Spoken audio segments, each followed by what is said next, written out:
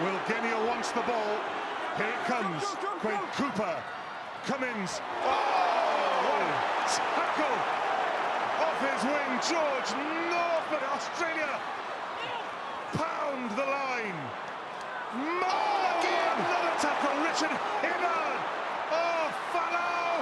This time he does score. Eventually, Australia make it over the line. Oh, my goodness. Reward at last for Australia.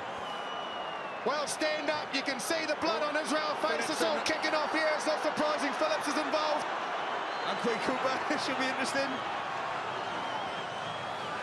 But two fantastic hits. I think one from Hibbard was and one from George North. But this, I think he's bounced Mike Phillips off here, which is no mean feat. And finishes. Should have scored in the in the other corner, but he shows what a lethal finisher he is. It's a great pass from Genia. Nice and flat. Phillips tried to rush up as the Welsh have been doing, but the pass cut out two or three players. And then from there, here's the hits. Here we go. In comes North. Boom far. Down goes Ashley Cooper. And they weren't done yet. Bang! In comes Hibbard.